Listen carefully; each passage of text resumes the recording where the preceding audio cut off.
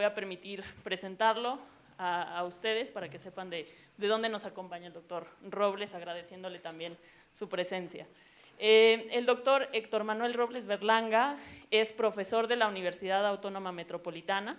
Él tiene un doctorado en desarrollo rural, es investigador miembro de la Red de Gestión Territorial, miembro del Consejo Editorial de la Jornada, de Jornada del Campo, miembro del Consejo Editorial de la revista Mundos Rurales y es coordinador también ejecutivo del sitio web Subsidios al Campo en México. El doctor Robles Berlanga es investigador en temas de política pública para el campo, tenencia de la tierra, mercado de la tierra, actores agrícolas y nueva ruralidad. El doctor Robles ha estado colaborando directamente con Silvia Hernández, eh, la gerente del Hub Bajío, quien nos ha referido amablemente a, esta, a este Brown Bag Seminar. Doctor, muchas gracias. Buenas tardes a todos. Agradezco la invitación al CIMIT para presentar algo que lo venimos haciendo, no solamente yo, sino un conjunto de personas desde distintos ámbitos. ¿no? Ya lo mencionábamos, desde la academia, desde la, ciudad, de la sociedad civil y también desde eh, la incidencia, ¿no? Eh, tratando de influir en las políticas públicas eh, nacionales, este, trabajando directamente con el gobierno mexicano. ¿no? Entonces, la experiencia que vamos a mostrar es producto de, estos, de este conjunto de trabajos y de la discusión con distintos actores, lo que nos permite, eh, digamos, hacer una reflexión y poderlo discutir con ustedes. La inclusión social productiva es un tema que ha adquirido importancia en los últimos años y parte de un principio básico, ¿no?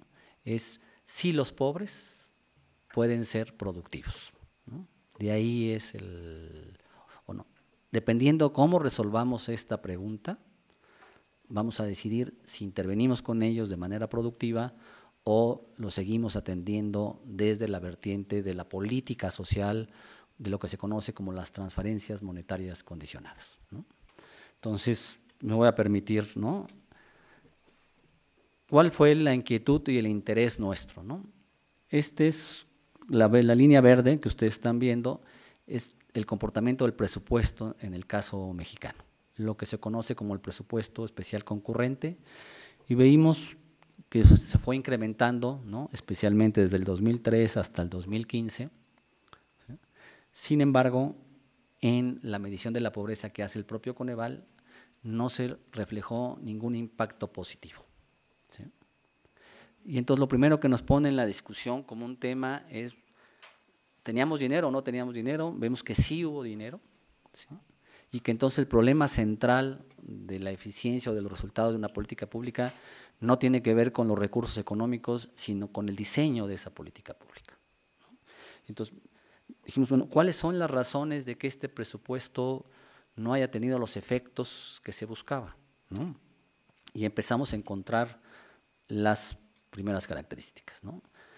En principio, el presupuesto eh, ha ido decreciendo en los últimos años en términos reales, con respecto a su año anterior, y debemos esperar en el 2018, incluso ya lo anunció el secretario de Hacienda, que no va a haber más presupuesto, que tenemos que ajustarnos, y es muy probable que en el 2019 tengamos, gane quien gane la presidencia de la República, el mismo comportamiento.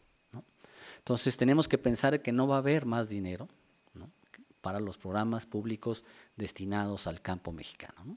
Que a lo mucho vamos a tener alrededor de lo mismo que tuvimos en este año y tenemos que hacer políticas que tengan resultados distintos. Y el segundo tema que pongo en la discusión es cómo estamos atendiendo el campo. El presupuesto especial concurrente se divide en 10 vertientes de apoyo. Está la social, que son todos los programas que maneja la Secretaría de Desarrollo Social, transferencias monetarias condicionadas, es decir, eh, lo que es Prospera, lo que es adultos mayores, Seguro Popular, etc.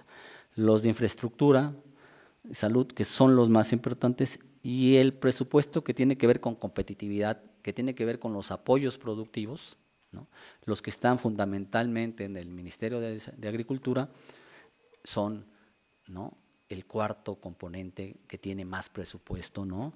Durante 2017 y lo vamos a ver más adelante, el comportamiento del presupuesto de cómo se ha dado en los últimos años. Entonces el, mensaje que nos mandaron es que se veía el campo como un campo de pobres. El campo son pobres y entonces demos los recursos de la vertiente social. Y esta es una de las preocupaciones centrales ¿no? De, eh, que consideramos que no debiera de ser. Nosotros decimos que los productores son productores, aunque sean pobres, y que tendríamos que verlos con esa mirada distinta. No, eh, y como la pobreza no mejoró, pues qué más razón de verlos de manera diferente. ¿no? Y vean, comparando ya eh, la vertiente social con la vertiente de competitividad, vemos que a partir de que se creó el programa especial concurrente, que es mandato de la Ley de Desarrollo Rural Sustentable, este fue subiendo mientras que el de competitividad se fue quedando. Este es un poco lo que decimos que debe de cambiar, que debemos de apostarle de manera diferente, sin necesidad de más recursos. Y otra es que dividimos al país. En las partes de color rosa es donde la Secretaría de Agricultura invierte más y en las partes moradas ¿no?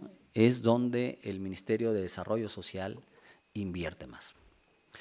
Como ustedes pueden ver, la parte rosada es donde están las zonas de riego, ¿no? donde están productores con mejores condiciones con, ¿no? productivas, y entonces los recursos de esta institución se fueron a a, este, a estas regiones, mientras que en el resto del país, especialmente en el centro y el sur del país, decidimos atender a los productores con la vertiente de desarrollo social. Entonces, no solamente definimos una política, digamos, de darle más recursos a la parte social, sino también una política bimodal, ¿no? separando a los productores en dos grandes grupos. ¿no? Esta es otra de las cosas que se vienen planteando que debieran de cambiar, ¿no? Porque eh, muchos de los recursos importantes que tenemos están precisamente en el centro y en el sur del país. Otro elemento que nos habla de por qué el presupuesto no ha tenido resultados es que se ha centrado en bienes individuales privados. Los recursos van directamente a un grupo de personas, y esos recursos en ese momento se convierten en recursos para ellos y no necesariamente han dinamizado o han logrado ¿no? impactar en sus regiones. ¿no? Y esta es otra de las preguntas si debemos invertir más en bienes públicos, ¿no? que es lo que están mandatando muchos organismos internacionales, ¿no? o debiéramos de en bienes privados individuales. Esto es ya 2015, digamos, toda la información que estoy haciendo referencia es la información oficial, digamos, lo único que nosotros hicimos es procesarla, analizarla y ponerla, ¿no? Pero nos habla de que la misma información oficial nos está diciendo que tenemos problemas con el presupuesto y que eso es lo que explica los resultados, ¿no? Y después tenemos una cantidad de programas. Si yo preguntara aquí, los que trabajan en el caso mexicano, cuántos programas destinados al campo conocen, y me van a decir unos, no, pues yo conozco 10, yo conozco 15, otros 20, el que más son 40, 50. Pues resulta que en el programa especial concurrente tenemos alrededor los que dicen que saben, ¿no? porque nadie nos ha podido dar el dato exacto, más de 150 programas.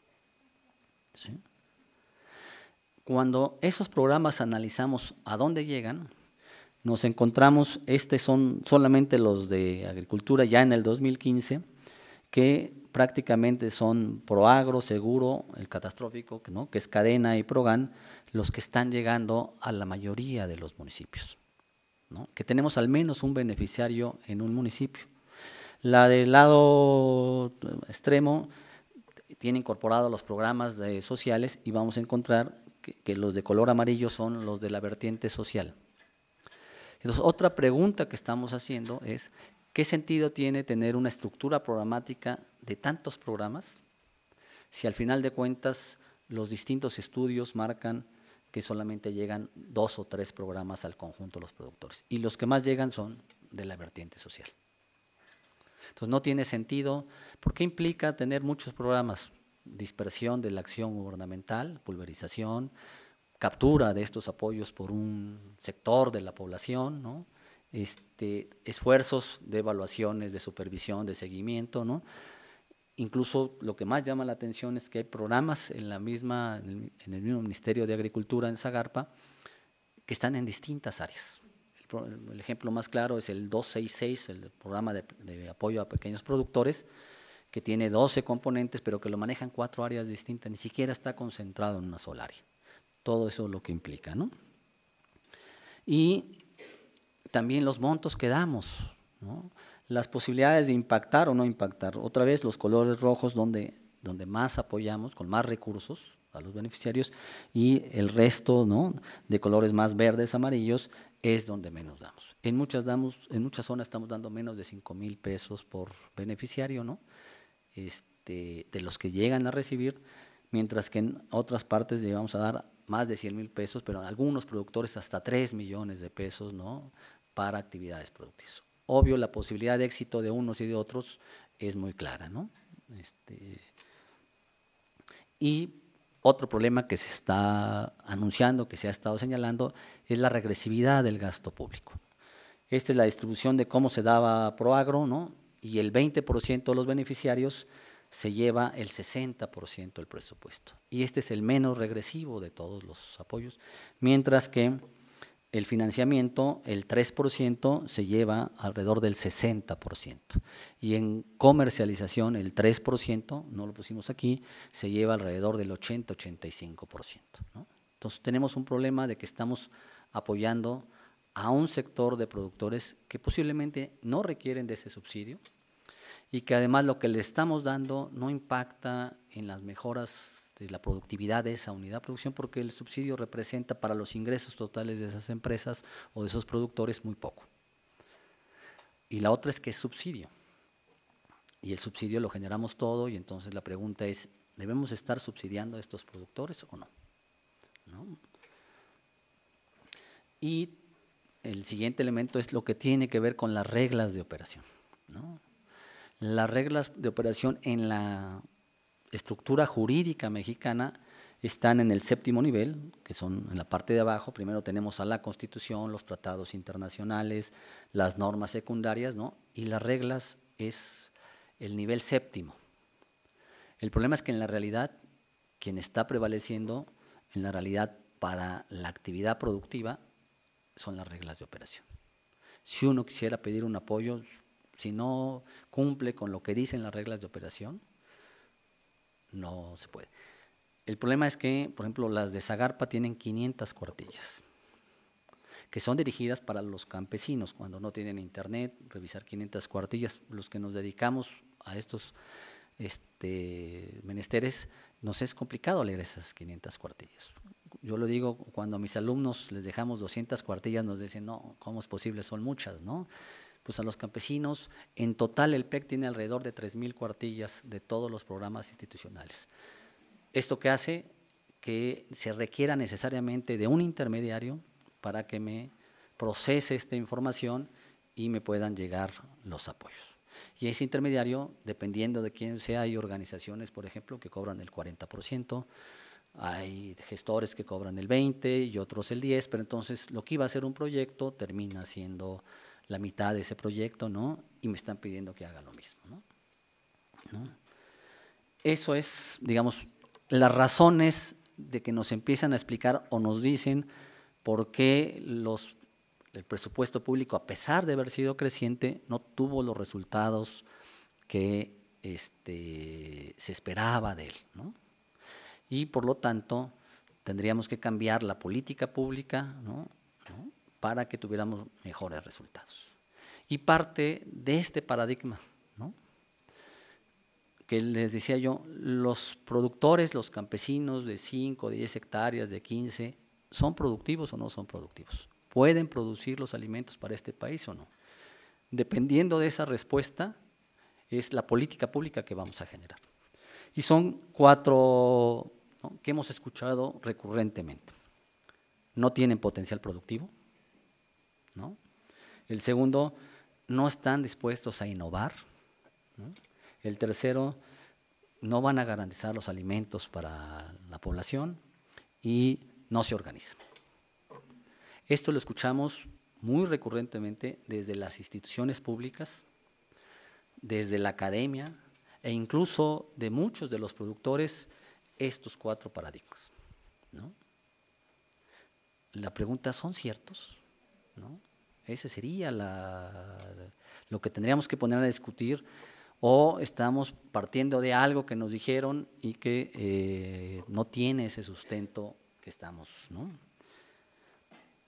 Nosotros, un grupo en el que me escribo yo, consideramos que los campesinos sí son productivos, que los productores pequeños y medianos sí pueden hacer todas estas cosas y por lo tanto deberíamos de iniciar lo que es el proceso de inclusión social productiva.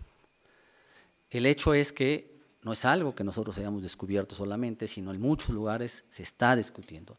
A nivel internacional, ¿no? tenemos el caso de Chile Solidario, ¿no?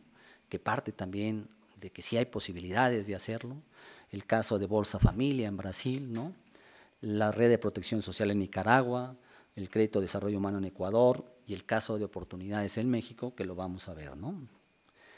A partir de esto, en distintos gobiernos se planteó la posibilidad de hacer programas de no precisamente trabajar con el Ministerio de Agricultura, que eso es lo que llama la atención, sino trabajar con los ministerios sociales. Organismos que tradicionalmente trabajaban solamente con Zagarpa, como es FIDA, es FAO, ¿no? empiezan a voltear hacia los ministerios de desarrollo social y están tratando con ellos de trabajar todo lo que es la inclusión social productiva. ¿Y por qué es ese razonamiento? A mí lo que me ha impresionado es la coincidencia en todos esos países, que es muy difícil modificar esta percepción de la agricultura que tienen los ministerios de agricultura, que están acostumbrados a trabajar con un sector de la población y que por lo tanto concentran sus recursos ahí y te contestan, te dicen, no, es que eso no se puede hacer. Y entonces estos organismos eh, empezaron a insistir con los ministerios de Agricultura, cuando se dan cuenta que esto no es posible, cambian y ahora están buscando a los ministerios de Desarrollo Social, como se son en el caso mexicano, para trabajar. Y ahorita ya tenemos el caso colombiano, ¿no? el caso de México, tres experiencias, ¿no? el caso peruano y eh, siete países de África que lo están haciendo, ¿no? esta inclusión, ¿no? Este, social productiva. ¿no? en el caso ya concreto de las experiencias que tenemos, en el caso mexicano tenemos dos, que es el programa piloto Territorios Productivos, ¿no? Este yo les comentaba, eh, me ha tocado trabajar alguien muy cercano a CIMIT, que fue muy cercano a ustedes con Julio Verdeguer, y entonces hicimos esta experiencia. Y ProImpro, las dos están en el Ministerio de Desarrollo Social, y el que estaría iniciando en 2018 en el, Instituto Nacional de Economía Social, ¿no? el ProEcosocial, ¿no? que así se llaman. En Perú, Jacu Winay, que es una de las experiencias que están, ¿no? en, el, en El Salvador, estas dos experiencias, ¿no? en Brasil, Sin Miseria, en, en, África, en estos dos países se están haciendo ya programas de inclusión social productiva. ¿no? Me voy a meter a las características, especialmente de los mexicanos, para que vean en qué consiste. ¿no? Primero partimos de tratar de demostrar de que en el caso mexicano los pequeños agricultores representan eh, un gran valor para este país. Y entonces lo primero que decimos es que siete de cada diez productores en este país tienen cinco hectáreas o menos. Y nueve de cada diez tienen 20 hectáreas o menos.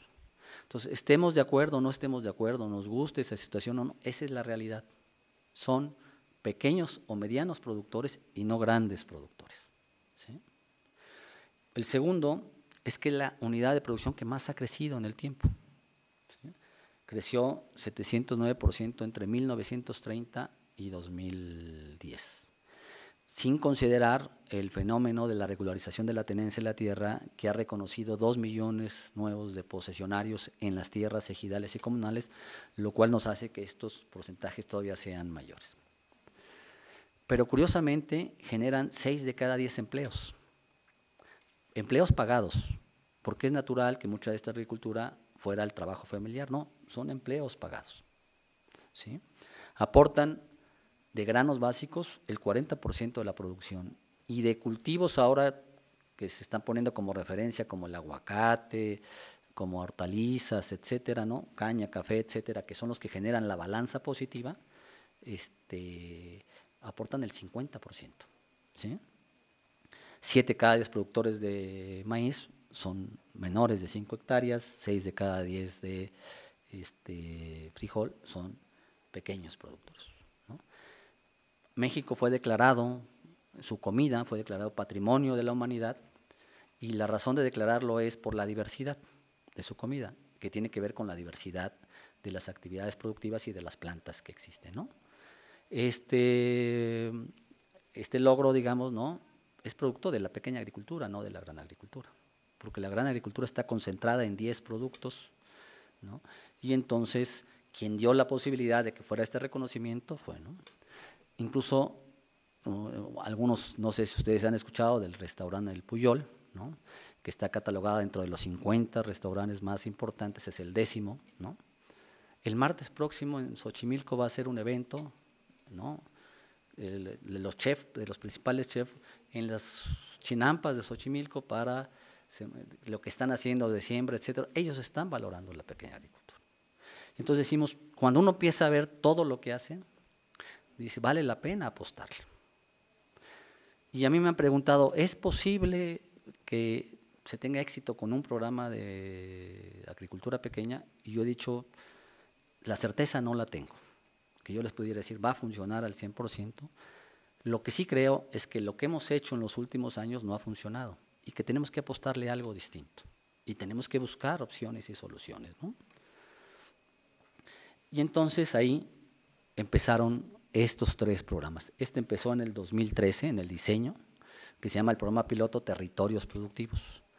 Precisamente se le puso piloto, por lo que queríamos hacer es aprender. No, no llegar y decir, este, así lo diseñamos, incluso hace rato yo platicaba lo de los académicos, ¿no? que nos, los académicos diseñan muy bien, pero nunca lo ponen a prueba, ¿no? y las experiencias eh, después no son muy exitosas. ¿no? Entonces, nosotros pedimos que no apareciera en el presupuesto, en una partida presupuestal, para que no tuviera las presiones y aprendiéramos de él. ¿no? Y es precisamente reducir este, las, condiciones de pobreza ¿no? y aumentar la productividad. ¿no? Eso es el propósito, esos eran los propósitos que se plantearon en el programa, aumentar la productividad de los factores de producción, sus ingresos, la producción de alimentos y exceder efectivamente a las políticas públicas que existían en el país. la población eran hogares beneficiarios de Prospera, eh, que habitaban en municipios, en los primeros 402 municipios de la Cruzada Nacional contra el Hambre, y eh, fueran pequeños agricultores, y elegimos a 10.000 familias en estos estados, 14 territorios funcionales que agrupan 82 eh, localidades. Y hay un concepto territorios funcionales. Los territorios se construyen, identificando primero dónde están estas poblaciones de Prospera, etcétera, y después buscando un centro de población, una localidad, en este caso, ¿no? una localidad grande, que pudiéramos identificar cuáles eran los vínculos entre esta ciudad o este poblado intermedio con respecto a las otras localidades que están dispersas. ¿no? Incluso en algunos casos, como en el Guatemala, establecimos una hora de distancia en vehículo, ¿no? para que nos permitiera, y a partir de eso empezamos a buscar la información de cuáles eran las relaciones que están. Porque sí creemos que tampoco pensar solamente trabajar con los agricultores y dejarlo ahí este, va a solucionar el problema, sino teníamos que buscar cuáles eran las interacciones de trabajo, de comercio, etcétera, ¿no? El, la idea eran que se articulara con 15 programas de Zagarpa, CDI, INAIS, ¿no? la financiera, CDSOL, la Secretaría de Economía, y en ese tiempo todavía algunos estaban en SEDATU, ya no los tiene ahora, ¿no? Este, y el agente técnico fue RIMIS, ¿no? que fueron los que estábamos asesorando, acompañando a RIMIR, hicimos el diseño del, del programa. Este tenía la venia de la Secretaría de Hacienda, ¿no? Y supuestamente dentro de la política nacional, la venia del presidente, ¿no? Y el resultado que tenemos después de tres años es que no logramos articular los programas. que las mismas instituciones tienen una resistencia a poner sus recursos en una bolsa, ¿no? para este, hacer cosas en conjunto. Todos nos dijeron, no, es que yo ya tengo a quien estoy atendiendo, sí estoy yendo a las mismas zonas donde tú vas, pero yo voy a llegar por mi lado, ¿no? Todos los problemas que nos podemos imaginar, ¿no? Además, Prospera tenía dos debilidades. Primero, no tenía un recurso propio que pudiera invertir o que pudiera eh, poner para el desarrollo productivo requería forzosamente de que estas otras instituciones fueran y lo acompañaran. Y, este, y, segundo, no tenía un área ¿no? que, este, que tuviera expertise en cuestiones productivas. Es muy bueno en la parte social, ¿no? Tiene un padrón excelente, tiene identificado cuáles son los problemas, cómo llegar, cuáles son las dificultades, qué hacer, etcétera, en esa parte, pero en la parte productiva no tenía alguien que le dijera cómo hacerlo, ¿no? Y esa es una de sus dificultades. Y la otra, las disposiciones. Nosotros planteamos que dentro del proyecto el recurso, en lugar de llegar a las instituciones, debería de llegar a los grupos organizados. Entonces el primer temor es, hijos, es que les vamos a dar dinero a ellos, se lo van a llevar, se lo van a desaparecer, etcétera, ¿no? Y segundo, que no hay las reglas de operación, no permiten en muchos de los programas hacer eso. Y nosotros les decíamos, si queremos explorar esta posibilidad, creemos que es posible hacerlo, pues necesitamos modificar algunas cosas. Y a la fecha no hemos logrado, ¿no? Pero esa es la primera experiencia que está funcionando, ¿no? Con, con estos problemas que les estoy señalando, ¿no? Y el agente técnico, ¿no? Y el FIDA ha participado, el, digamos, con algunos apoyos, ¿no? Para el, que se puedan desarrollar estos, ¿no? El segundo que es curioso, lo que hacemos siempre en los, en los gobiernos, en el gobierno mexicano es que nos gusta repetir, ¿no? Y en la misma, en el mismo Prospera construimos el programa de inclusión productiva que se llama ProImpro, ¿no? La única diferencia es que aquí va a Guerrero, va a Hidalgo y a Zacatecas. El agente técnico es la Universidad Autónoma de Chapingo, ¿no? Este, pero es de alguna manera también este, promover el acceso de las familias pobres a los beneficios, ¿no? a programas de fomento productivo y a servicios financieros. ¿no? Digamos, es poco lo mismo que territorios productivos, nomás que en tres lugares eh, distintos. ¿no? Este, también articula 15 eh, programas, ¿no? y es el mismo problema que se ha presentado de no lograr articular los programas. ¿no? Incluso de la capacidad técnica de los agentes técnicos. Tanto las personas, los técnicos que se han incorporado en territorios productivos como en ProImpro, muchos de ellos no creen que es posible trabajar con pequeños productores. Entonces, cuando el técnico ¿no? se va a presentar y va a hacer el trabajo, ya está pensando en que no se puede. ¿no?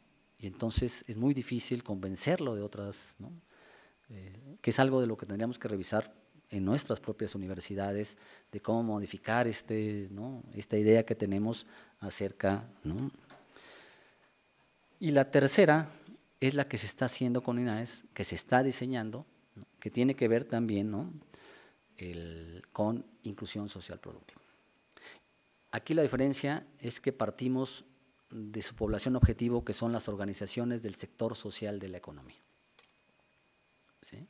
Lo que se conoce como OCES en la ley ¿no? de la economía social, en el propio INAIS, ¿no? y entonces es ese de no partir del individuo, como si eran los otros dos, ¿no?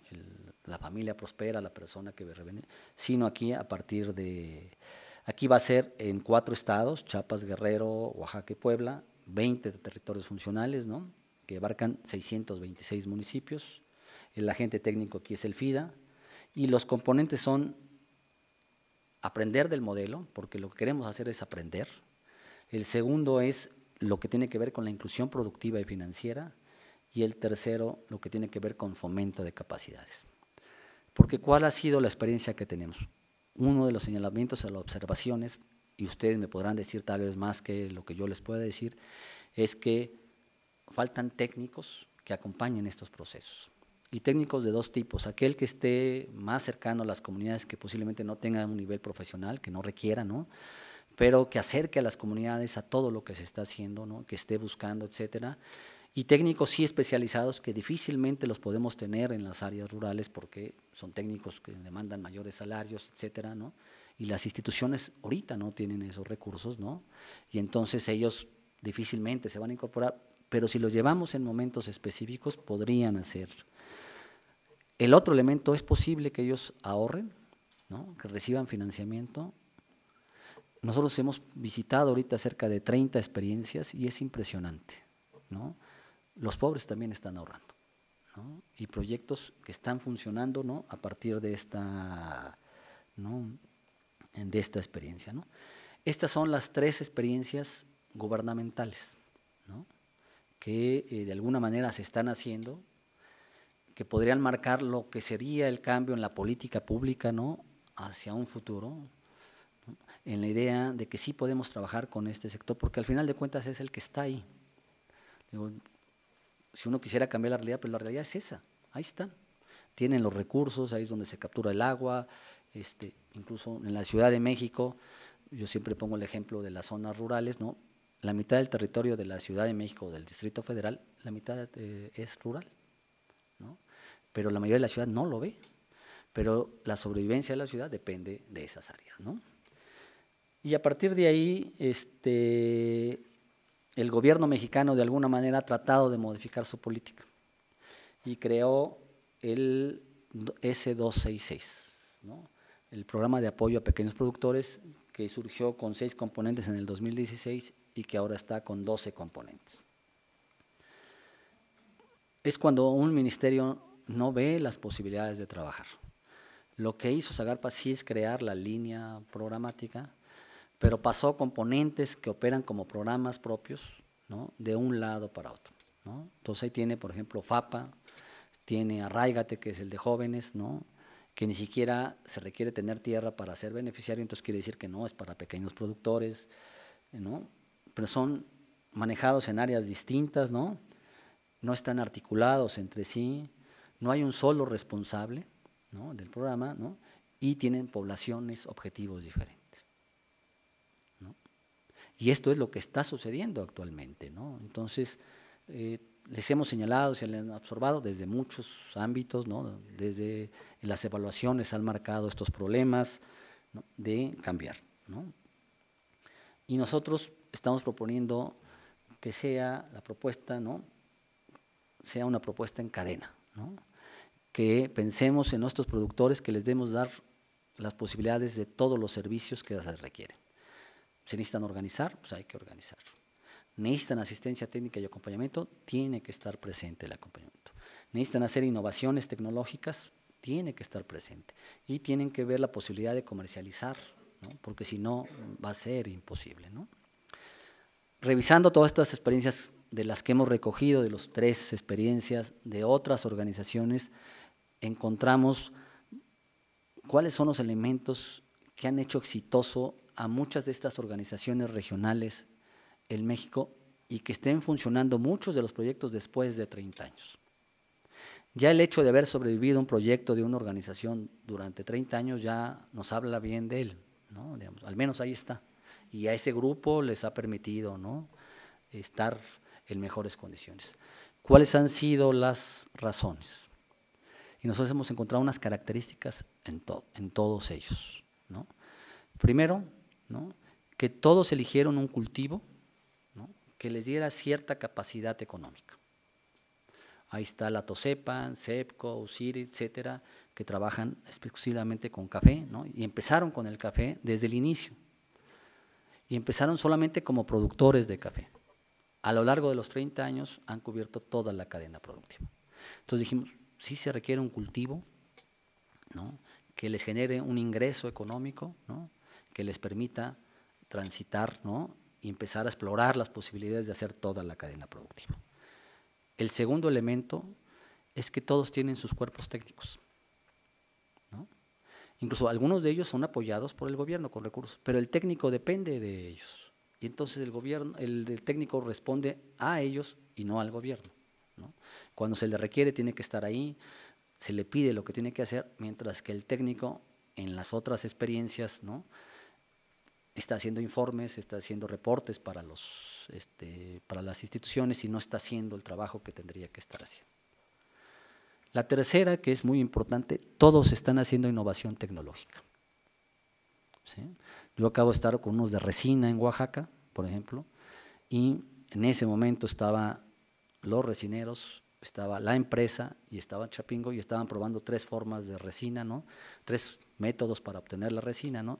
Y uno se dice, si estos productores, ¿por qué están haciendo esto, no? Y ellos vieron la posibilidad que hay un mercado muy amplio, porque las empresas, la empresa que está en Nuevo León, que hace el cloro y todo, trae el 70% de su materia prima del extranjero y vio en estos productores la posibilidad de cubrir parte importante de su materia prima. Y están haciendo innovación.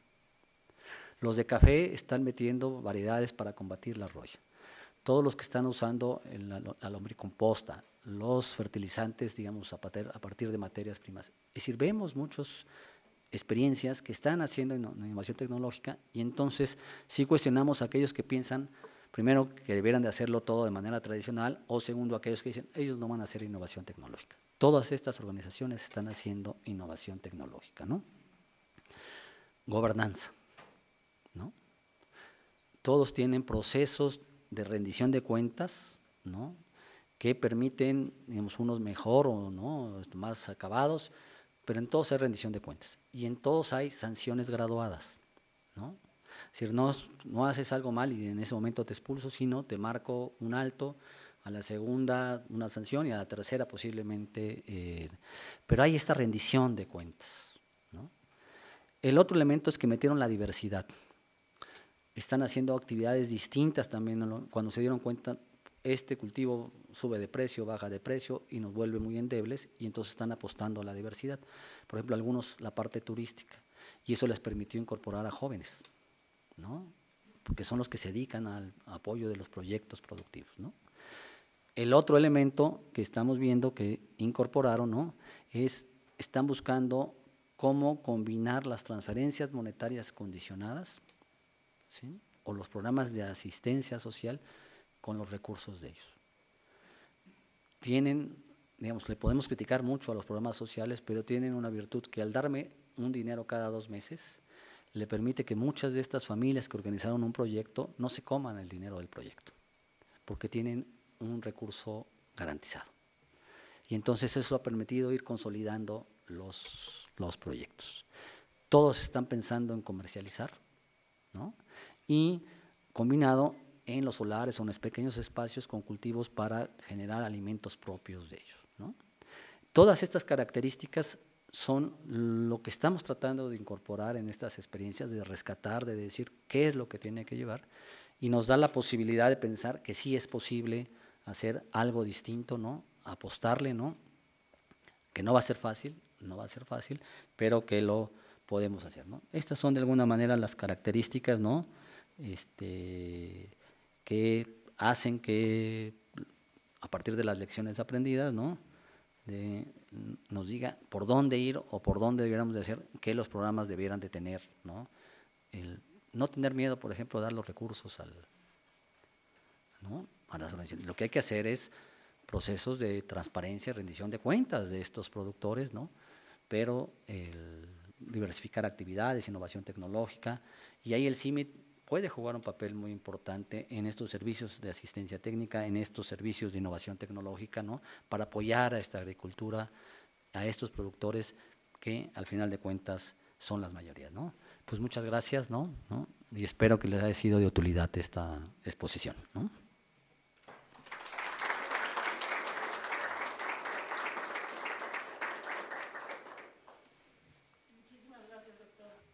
Si nos permite, quisiéramos tomar algunas eh, preguntas de, la audiencia. No sé si hubiera alguna pregunta o comentario que quisieran hacer. si pueden hablar por el micrófono para que nos escuchen también en, los, en las diferentes regiones. ¿Lo prendí? Ya. Eh, no, mi pregunta es, dentro de las últimas como eh, elementos que ven crear la cadena de valor una de las cosas que mencionó fue el hecho de linkear eh, la producción a un cultivo eh, con valor económico y me da un poco de, como que no va con lo que hablaba al principio de todo el valor que crea la biodiversidad, de la diversidad de la producción de los pequeños agricultores. Entonces no estaríamos llevando a los agricultores a ser un agricultor normal que produce maíz, trigo y pierde toda la pequeña biodiversidad que, que lo caracteriza. Eso. ¿Voy contestando una a una o como ustedes gusten? Es decir, lo que nosotros, la experiencia que nos ha demostrado de las organizaciones que existen en México que sobrevivieron estos 30 años, es que todas ellas empezaron con un, proyecto económico. Digo, el caso del café. Incluso empezaron ellos, yo estuve en la primera reunión, por ejemplo, de CEPCO en Oaxaca, cuando desaparece el Instituto Mexicano del Café, y lo primero que les dicen es, señores, ustedes ya van a comercializar o deben de ver cómo van a comercializar ustedes y tienen que empezar a trabajar con. Y entonces verlos, todos ellos indígenas, ¿no? checando la bolsa ¿no? este, de Chicago, ¿no? de cómo se comportaba el café, sin entender inglés, ¿no? este, nadie, ¿no? y estar ahí tratando de identificar. Y ellos lo que vieron y lo que aprendieron es que tenían que entrarle. Pero hicieron esta combinación, si bien al principio se dedicaban a la producción, ahora ¿no? están comercializando directa, metieron procesos orgánicos en, muchos de ellos, pero no dejaron el, el eje alimentario. ¿no? Lo que nosotros decimos es que no podemos partir del eje alimentario solamente, ¿no? porque al final de cuentas estas unidades de producción requieren cierto ingreso para poder potenciar sus actividades. ¿no? Y entonces lo que decimos es, ese cultivo es el que los va a hacer que se junten, ese cultivo es el que los está llevando hacia afuera y es el que los articula. Y en estas experiencias eso fue lo que lo articuló, pero no abandonando, ¿no? Lo ideal es que tengan todos los elementos. Esa es la experiencia de estas organizaciones que existen en el país, que ya decía yo, ya el haber sobrevivido ya es, este, en este tipo de proyectos, con este tipo de población, ya es un éxito, ¿no? Este, con sus altas y sus bajas que han tenido, pero nos marcó esa, esa referencia. ¿no? Entonces, ¿cómo entramos con ellos? Identificando. Yo acabo de estar uno hace tres semanas, de la Pitahaya, ¿no? en la Mixteca poblana, ¿no? De un cultivo, la Pitahaya, que se daba ahí, ¿no? que estaba ahí, en los árboles del mezquite, donde crece como guía. ¿no? Para ellos era solamente recolección y recolectaban lo que requerían, y ahora toda la comunidad está ¿no? este, recolectando la pitahaya, poniendo en sus solares postes de cemento para que sirvan como guía ¿no? para la pitahaya. ¿Por qué? Porque la están exportando a Japón. Y entonces no requieren de toda la tierra, sino de pequeños espacios, ¿no? pero lo otro no lo han abandonado. ¿no? El hecho es que lo que los une o los que los junta como organización son estos cultivos y a partir de ahí hacen todo.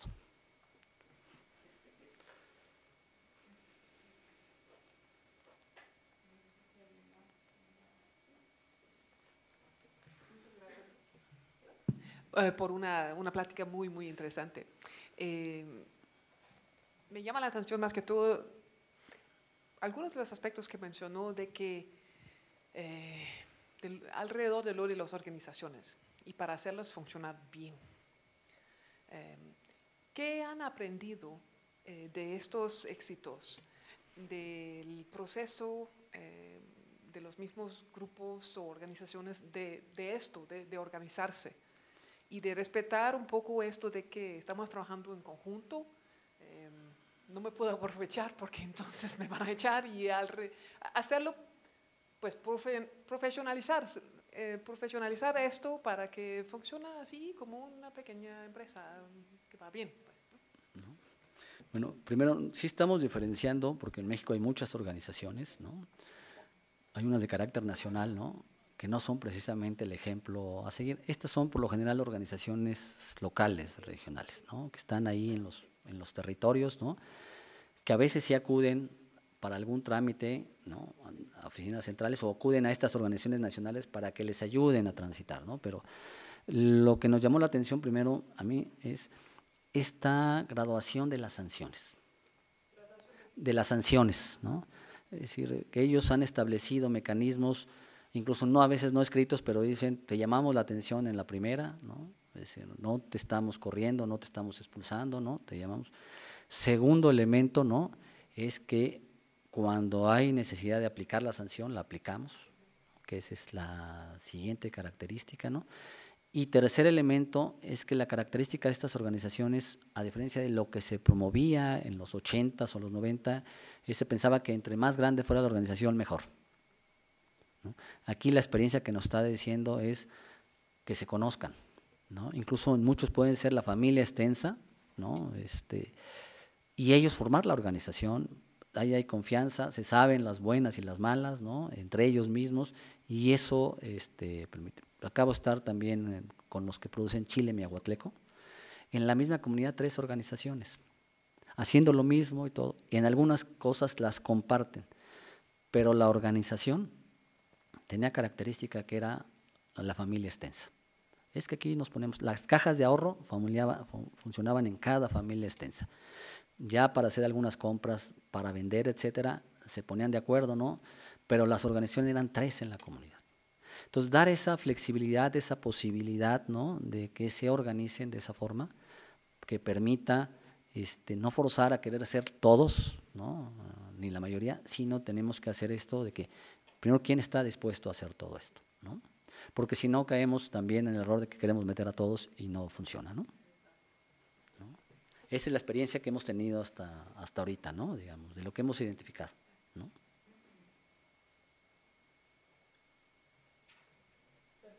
Tenemos también gente que está escuchándonos en línea, entonces lo que queremos pedir es si pueden escribir en el chat su pregunta para que Isabel nos pueda apoyar a leerla. Eh, Caro. Gracias, Héctor, por la, por la presentación. El seminario me parece muy interesante. Yo tengo dos preguntas en dos vertientes. Em, cuando uno piensa en inclusión, lo puede ver de diferente manera, ¿no? Desde la perspectiva de es decir, tú lo estás viendo desde una perspectiva más económica en términos de acceso, acceso a, todos estos em, soportes institucionales para volverse más económicamente viables. Pero hay toda una dimensión también social y cultural. Y oyendo tus ejemplos de la TOSEPAN y todo eso, yo recuerdo, bueno, el conocimiento que yo tengo de estas organizaciones es que hubo un trabajo previo de organización político también, en el cual estas organizaciones se, se pudieron posicionar políticamente y, y, ya actualmente pueden parar obras grandes. ¿no? Entonces, em, me pregunto qué tanto esta viabilidad de inclusión económica no tendría que estar atadas con otros, otros espacios de inclusión desde la perspectiva política, desde la perspectiva social, lo mismo, lo, y sobre todo pensando en que mucho de lo que hablas es en torno de trabajar en colectivo más que en individual. Es decir, la experiencia, digamos, ¿no? lo que decimos, eh, hay muchas experiencias uh, regionales o locales que están haciendo muchas de estas cosas, pero que no las tenemos identificadas, que las hemos descuidado, no las, no las vemos, y que un gran esfuerzo que tenemos en conjunto los que estamos trabajando en el sector rural, especialmente desde la academia o de las organizaciones, es identificar toda esta gran experiencia de proyectos que existen. Para hacerlos visibles, que eso sería lo primero, ¿no? Porque incluso tenemos un problema, la sociedad, y más la urbana en general, tiene una percepción negativa del campo, ¿no? Este, como primero, difícilmente lo ve, segundo, cree que ah, pues son campesinos, son pobres, son, ¿no? Este, valores negativos, ¿no? Y son pobres porque son flojos. Sí, porque son flojos, son rústicos, incluso la Real Academia dice así, digamos, en varias de sus acepciones dice población rústica, ¿no? Eh, faltos de trato. Estos valores, ¿no? Que están muy presentes. Yo lo he señalado en distintos eventos con organizaciones. Nosotros, entre nosotros, podemos decir, sí, los campesinos hacen muchas cosas, etcétera. El problema no es con nosotros, el problema es cómo convencemos a los otros que tienen esta idea, ¿no? Y una de las formas es hacer visible todas estas experiencias. la semana pasada hubo uno en Michoacán, un evento, en donde muchos de ellos empezaron a decir, oye, yo no sabía que tú también estabas haciendo esto. Oye, yo también lo estoy haciendo. hay muchas experiencias de ese tipo, ¿no? Que si se juntaran y se empezaran a dialogar entre ellos, les diéramos la posibilidad. Después desde lo urbano nos preguntan, bueno, en el caso del Distrito Federal, cuando hemos puesto esta información, y te pregunto, bueno, ¿y dónde voy a comprar yo productos, no? Este, más del productor, más orgánicos, etcétera, y nomás les podemos decir de tres lugares o de dos, ¿no? no, tiene, no, ah, no existe en ningún sitio esta información que permita decir dónde puedo acudir yo a comprar estos productos. Entonces, es otro de los esfuerzos que tenemos que hacer de también acercar, que lo están intentando otros productores. Entonces, sí tenemos que verlo así. La otra es que eh, muchas de estas organizaciones, curiosamente, ¿no? Eh, pongo el ejemplo de CEPCO, que tuvieron un gran peso, ¿no? al final de cuentas, por horas del destino se dividen. ¿no? Los dirigentes muchas veces de estas tienen esta, se dividen, pero han encontrado cada una de ellas su propio nicho. ¿no? Entonces, la CEPCO se ha especializado en el financiamiento y los que se fueron con otras organizaciones se han especializado en la parte de producción. Y entonces están dialogando este, a partir de esos este, acuerdos. Entonces lo que tenemos que buscar es eso, ¿no? Este, cómo hacer visible esto, cómo mostrarlo. Por eso estas tres experiencias que están buscando, están intentando, ¿no? de decir, sí se puede hacer, hay mucho que se está haciendo, ¿no? este, y tendríamos que pensar no solamente en la parte productiva, como tú lo señalas, sino también en la parte social. Un valor que se está diciendo ahorita, la cohesión social. Nos hablamos de la violencia, ¿no? Y ahora se está empezando a reconocer que tener posibilidades en áreas rurales, ¿no? población con cierto ingreso, con ciertas características, es una forma de hacer cohesión social y evitar la violencia en zonas rurales, ¿no? que además después se refleja en las ciudades. ¿no? ¿Eso cuánto cuesta? No lo tenemos el cuidado de los recursos, que tiene otro valor, tampoco, y ahora cada vez lo estamos poniendo más en el centro. Entonces, un poco la idea es de estas presentaciones, de estas experiencias, es decir, este es un camino, vamos a buscarlo, vamos a aprenderle, puede ser que le modifiquemos esto, le cambiemos, ¿no? que incluso enriquezcamos, ¿no? porque lo que estamos presentando son apenas experiencias, no, no necesariamente es la verdad, digamos, de todo, ¿no? hay que aprender ¿no? todavía y sobre eso trabajar, ¿no? Este, pero sí tiene que ser en, todos los ámbitos, en lo económico, en lo social, en lo ambiental, en la seguridad, ¿no? Si que realmente queremos tener. Y a mí me llama la atención, nomás pongo por ejemplo, nunca lo he medido, pero muchas de estas organizaciones hubo atrás alguien, uno que tenía como cierta característica, eran jesuitas, cristianos de base, ¿no? de este tipo, ¿no? que no cuenta, pero que ahí están, ¿no? estuvieron, que no se comen el proyecto, que hacen un trabajo, están dispuestos a estar, ¿no? estar ahí. ¿no? ¿Cuántos de nosotros jóvenes quisiéramos estar todo el tiempo en, ¿no? en estas comunidades? ¿no?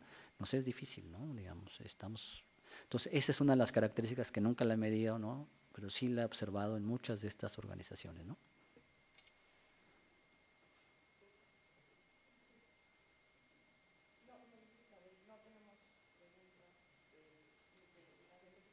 en línea. No sé si alguien más quiera tomar la palabra. Sí, sí, por favor.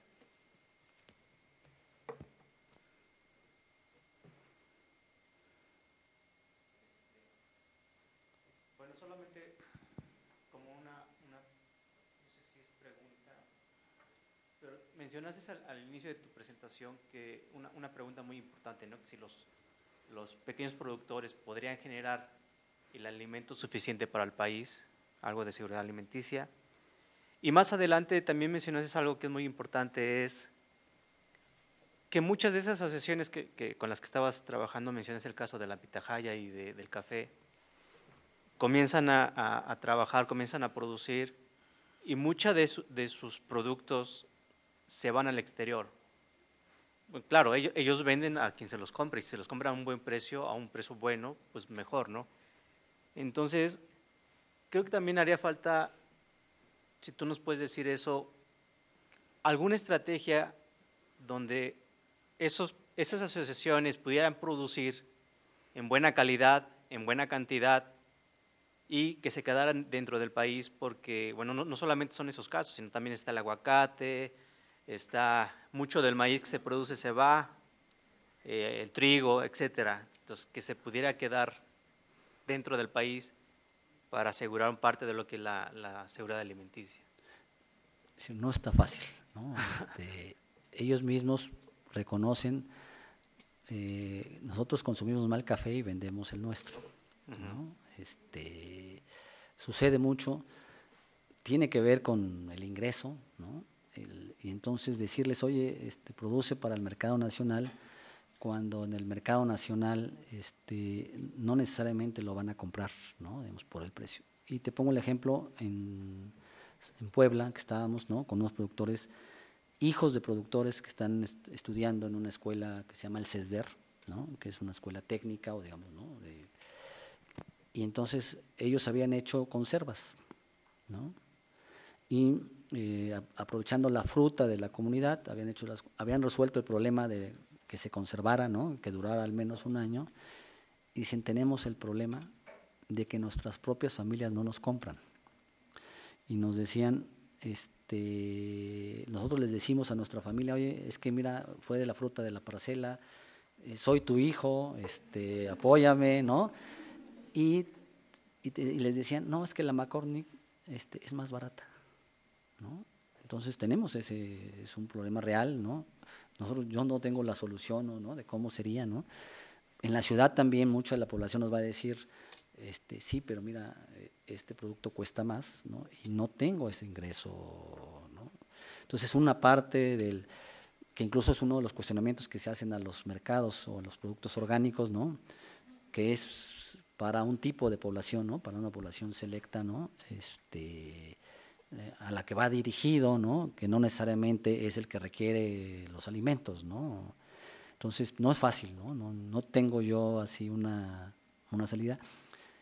Y ellos este, pues dicen, es que nos están pagando y con este recurso le puedo dar educación a mi hijo, con este recurso puedo hacer, eh, mejorar mi parcela, puedo hacer una serie de cosas que, este, que si no lo tuvieran y no me lo comprara nadie, este, no lo podría hacer. ¿no? Entonces, ese es uno de los grandes retos que tendríamos, cómo lo resolvemos y cómo acercamos. Una de las soluciones sería los mercados cortos, ¿no? Pero en este país todavía no tenemos muy avanzado esa de poder acercar al productor con el consumidor y, evitar estas cadenas intermedias, ¿no? Que permitiera que los precios no fueran tan altos. Pero no es sencillo, no está fácil. No tenemos la infraestructura, no, las organizaciones difícilmente pueden hacer eso porque no tienen, ¿no? Este, entonces, es algo que más bien este, nos ayudaran a resolver ese, ese problema. Ahora tenemos otras, en el caso de maíz, este, ¿no? frijol, que están haciendo cosas muy interesantes y que están aportando parte importante de la producción que sí están vendiendo, ¿no?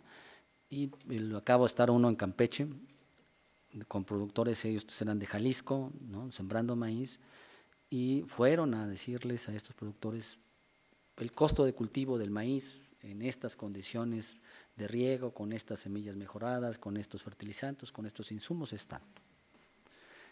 El costo del maíz, ¿no? si sembramos bajo estas condiciones más orgánico, ¿no? con este, fertilizantes creados por nosotros mismos, con la composta, con todo lo que son lixiviados, este, con control de plagas natural, es eh, un tercio de estos. Y el rendimiento, mientras que acá en Sinaloa llegan el promedio 12, ¿no? Nosotros estamos teniendo 8 o 9 toneladas por. Nada más que cuando vemos costos, quien sale ganando somos nosotros. Y él les dijo dos cosas al productor el, de estos de Campeche. Les dijo, hay un problema, dejamos de ser productores. Somos, ahora como campesinos o como productores, somos consumidores más que productores que consumimos el fertilizante, que consumimos la semilla, que consumimos e-, y todo lo demás. Ya no hacemos nada.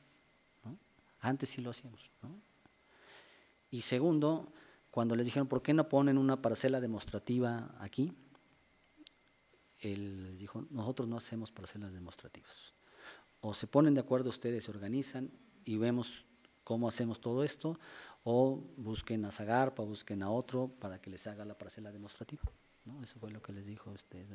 No vengo a venderles la tecnología, no, les vengo a decir que un proceso que hay que seguir para que tengan resultados. ¿no? Y son productores de maíz. ¿no? Pero la otra parte sí está, está difícil, ¿no? Digamos, de cómo logramos, no, no hay una solución, ¿no?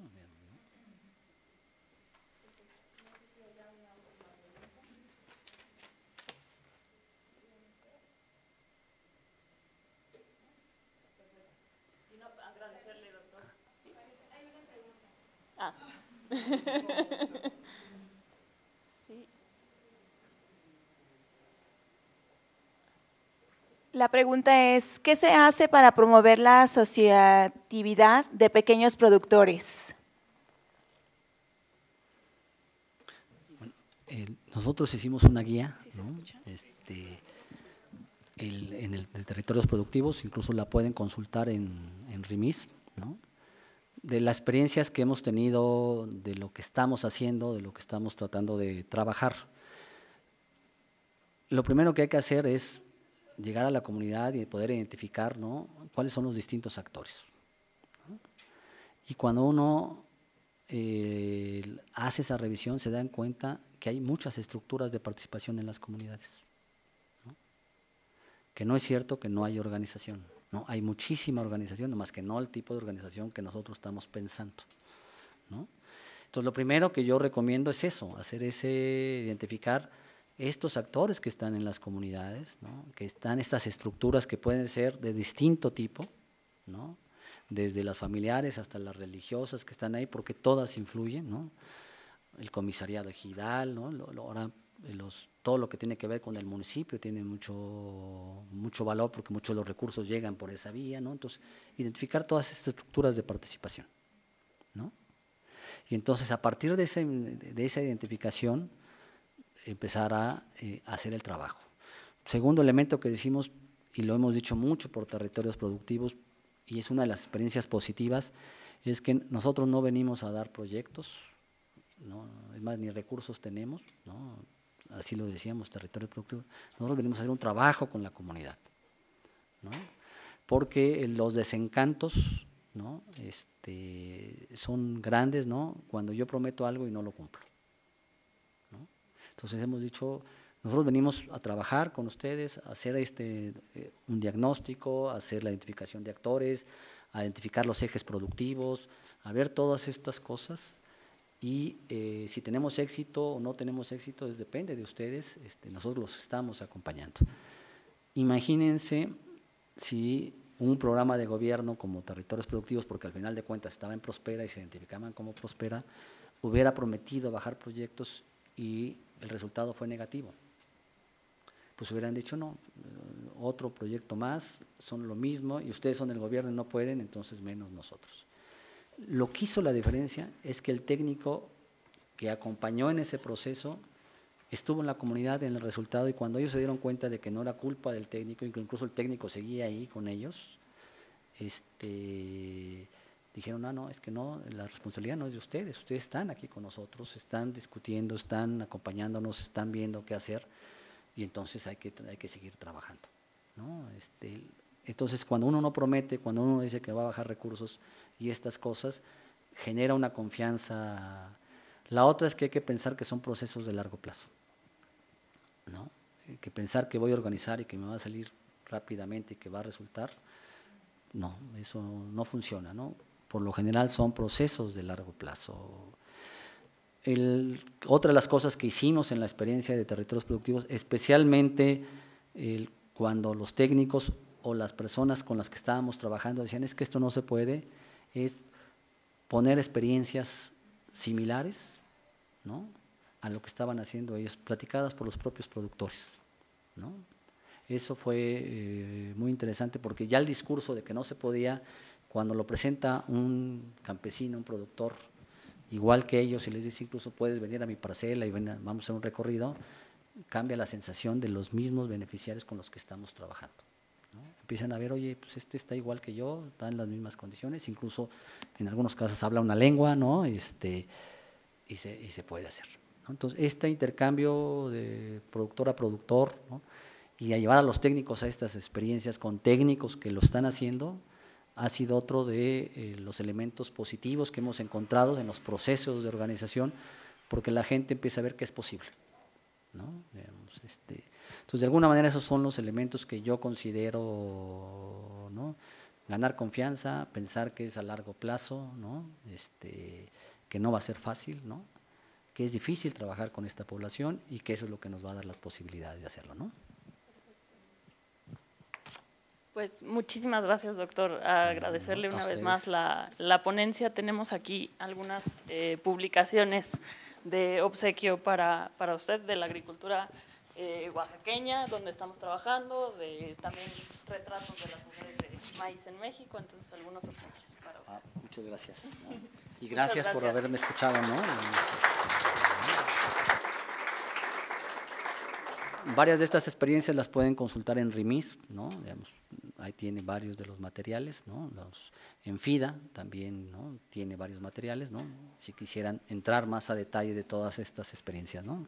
Gracias. ¿no?